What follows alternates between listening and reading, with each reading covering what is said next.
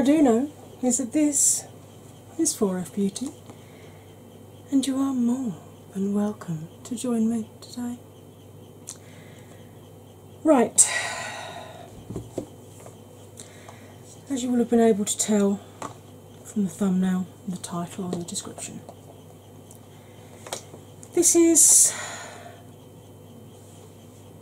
a bit of a different film for me today. Um,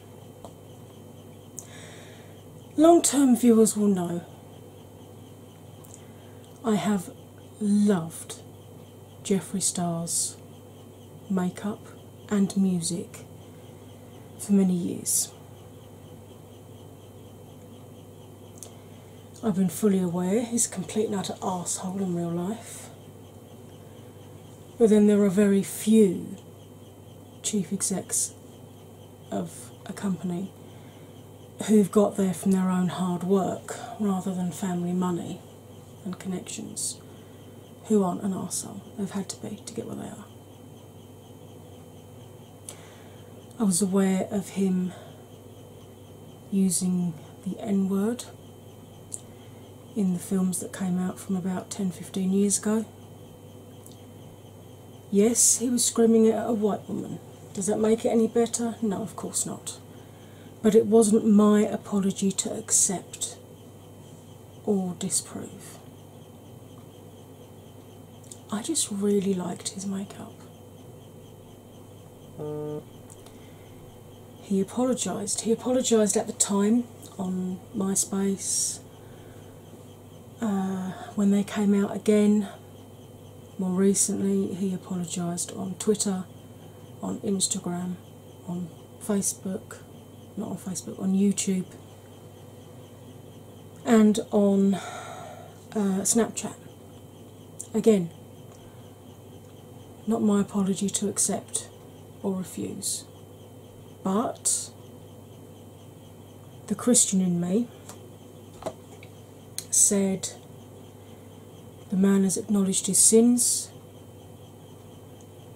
he's apologised for them, he's insisted he's going to be a better person. As someone who has faith, it would be wrong of me not to allow him to prove he has changed.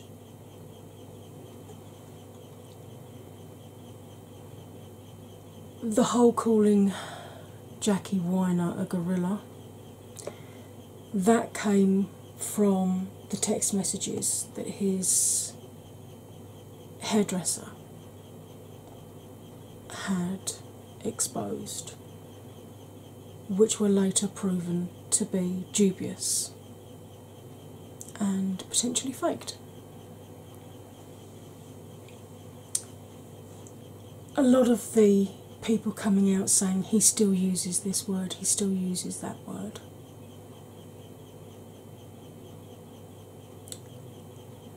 Were doing so after they were no longer in that centre circle.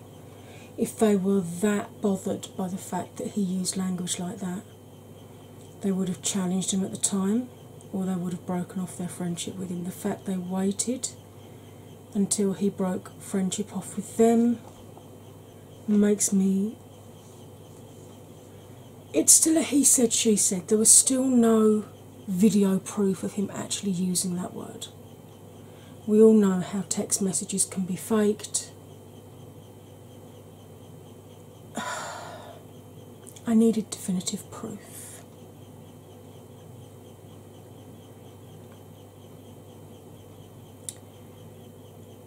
But then all this crap came out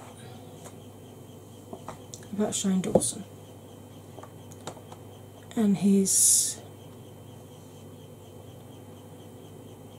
humour, if you can call it that. Um, I know joking was more near the knuckle back then, But some of the films that have come out were totally unacceptable. When he was getting his 12 year old cousin to give her girly friend a lap dance to the song My Neck, My Back, Lick My and My. That's not appropriate. And to then sit in the chair and say, Now give me the lap dance, whether it did or didn't happen. No. No, if someone put my goddaughter in that position, I would string them up.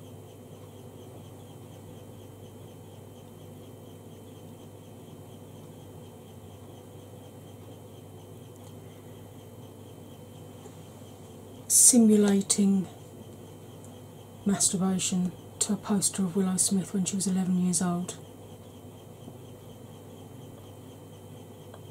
No, that, that's not funny.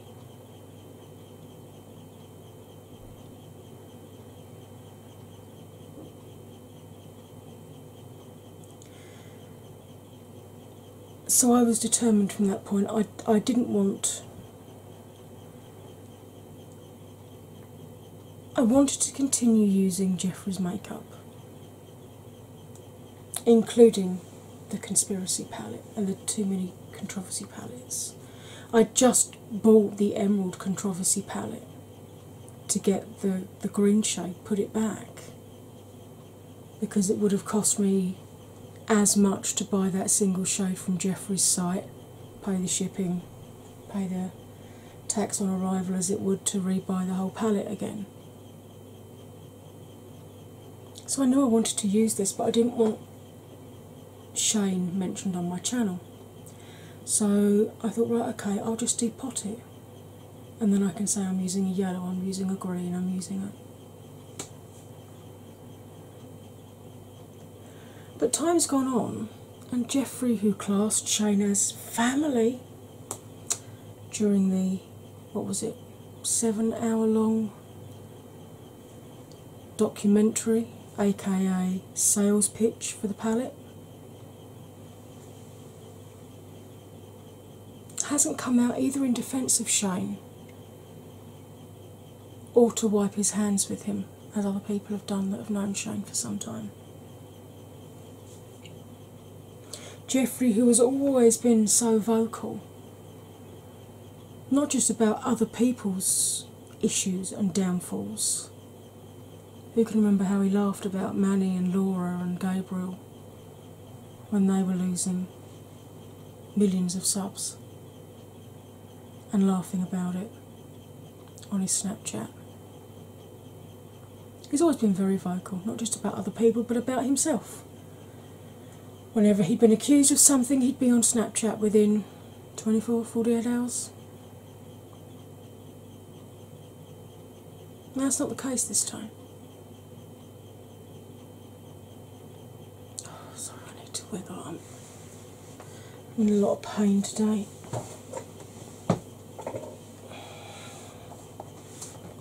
I may cut that out, I haven't decided yet.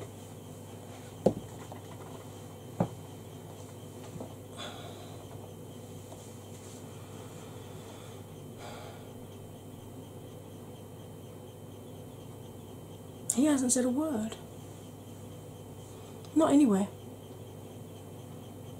He's been seen on somebody else's YouTube channel buying a new car. And he's been on other people's Snapchats, laughing and joking in his pool. What happened to social distancing? Nobody's wearing masks.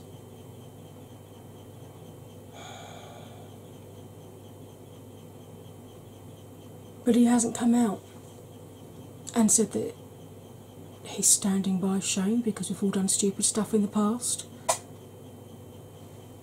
The excuse he's used for himself. Or to denounce Shane. He hasn't he hasn't done it either way. He hasn't spoken to his fans who've been clamouring for him to speak. They want to know what his opinion is. And he's completely silent. And this is unheard of with Jeffree. When his dog died, he still put Snapchats out to tell us and then went quiet. when him and Nate split up, he put some stuff out and then went quiet. He hasn't done that. He hasn't acknowledged his fans or anyone. And that just goes to show that for all of his, I really love my fans. Well, clearly that's bullshit, isn't it? I've known the man's an arsehole, but I, up until this point, did think he actually had some feeling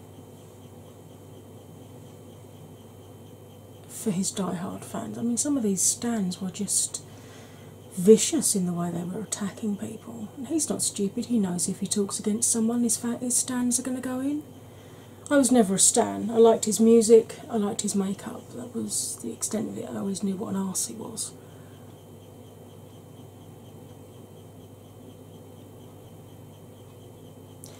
And then the Tati film came out, where she admitted that Jeffree and Shane had manipulated her and twisted her view on James, convincing her that if she did her Bye Sister film, other victims would come out. Uh, and then it didn't happen. You could say Tart is an idiot. Why didn't she approach James as her friend and sit him down and say, Look, they're saying this, is it true?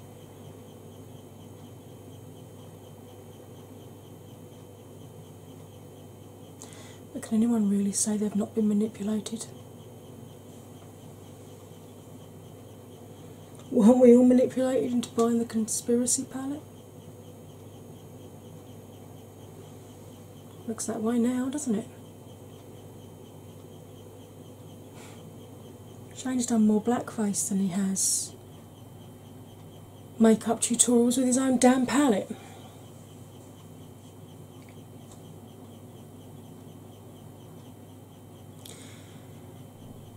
The fact that Tati was reading from a statement that her lawyers had approved and not flashing receipts up on screen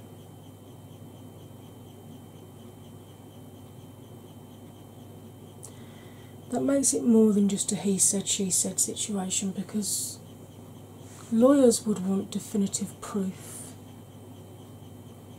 or they wouldn't have let her make that statement, they would have advised her against it.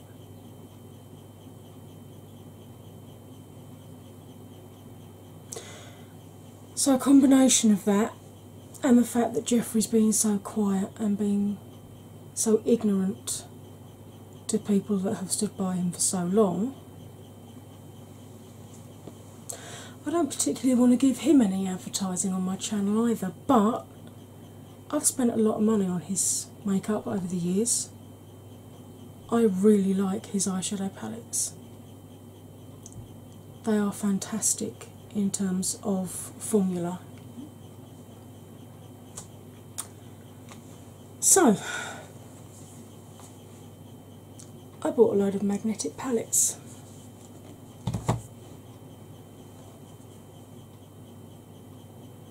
I potted them all. Annoyingly, Alien, my favourite palette, was the only one really that had damage to it because it was the only one that had like a metal casing rather than cardboard. But I now have one palette with Bloodlust and Blue Blood in it, and the Pink Chill highlighter.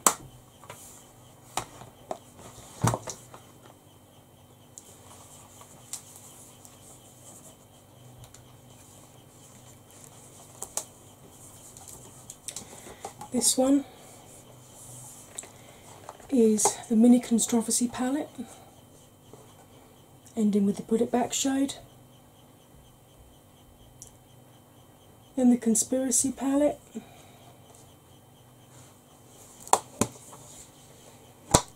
Jawbreaker and Mini Jawbreaker on the top row of Blood Sugar.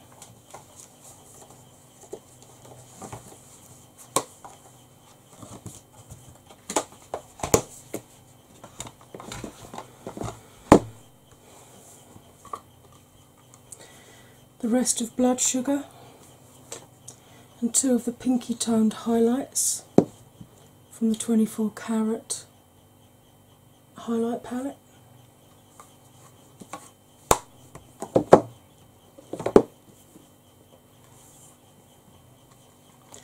Alien with the eight repressed shades and three oh that black's still crumbly look at that uh, three shades from Cremated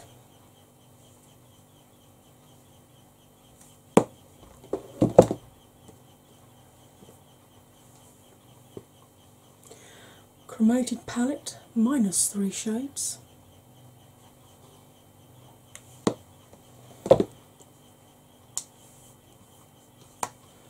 Thirsty palette. I've now run out of magnetic palettes, but I will eventually be depotting Beauty Killer, Androgyny, and the remainder of the highlight palettes that I've got. So, if you see a film from me where I say I'm going into a green, or I'm going into a mid blue, or I'm going into a light blue, and I don't tell you what the palette is. It's probably going to be one of these.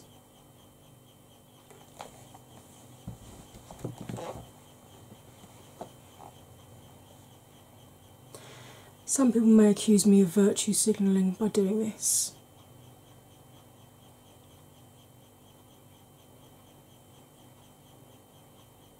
If that were the case, I just wouldn't use his stuff on screen at all.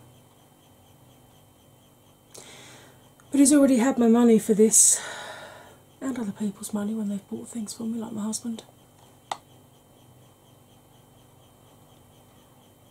I'm not going to waste that money, I'm not going to waste those products.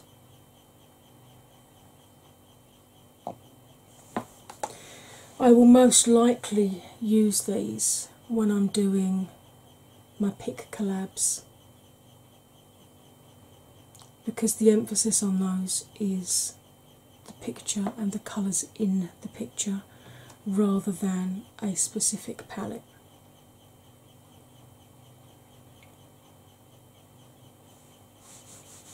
If there is a specific shade that you want to know what I've used,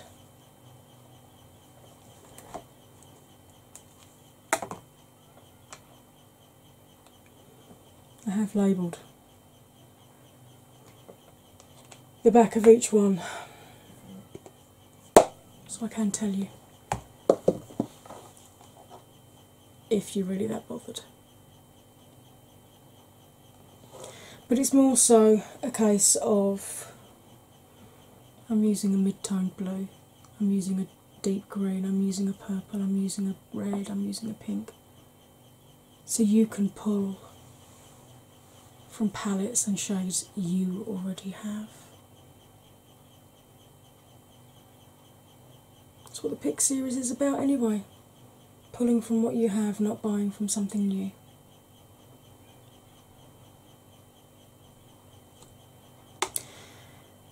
I really hope that you will understand my decision on this going forward. If you're not happy that I'm going to continue to use his stuff, then okay, I get that. Everyone's allowed their own opinion.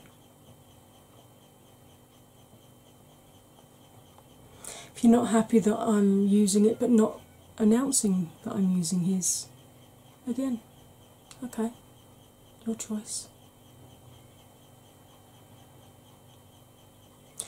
But I hope you'll see it in the way this is meant.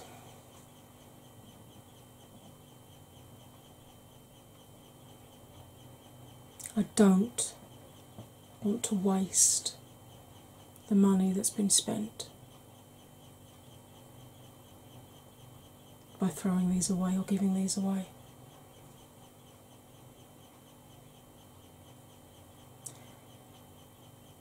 Because of my pain levels, I rarely wear makeup now unless I'm filming. So it's not even like I can say, oh, well, I'll, I'll just use these off camera and use my other stuff on camera because they still wouldn't get used.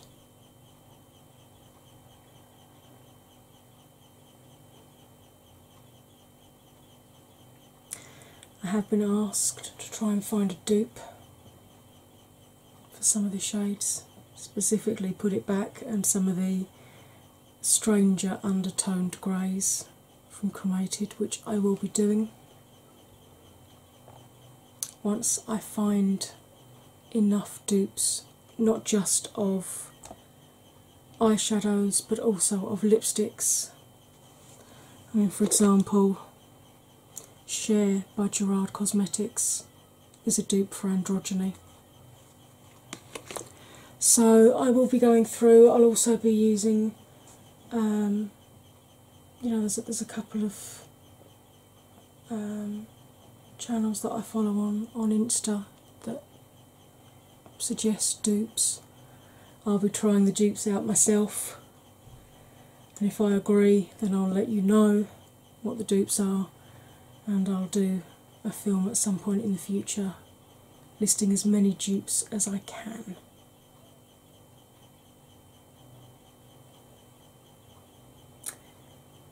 So, that's it. That's this film. Like I said, it's it's not my usual kind of film. But I hope you understand.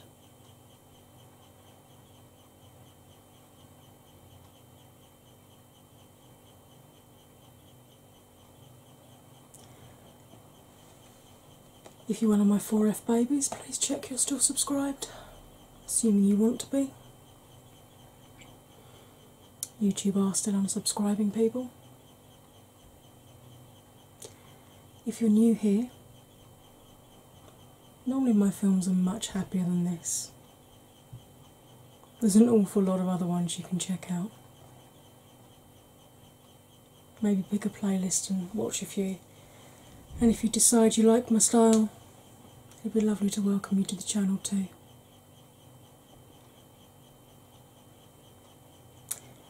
But now, all that remains for me to say, as ever, my darlings, is you'll stay fabulous, and I will see you next time. Bye for now.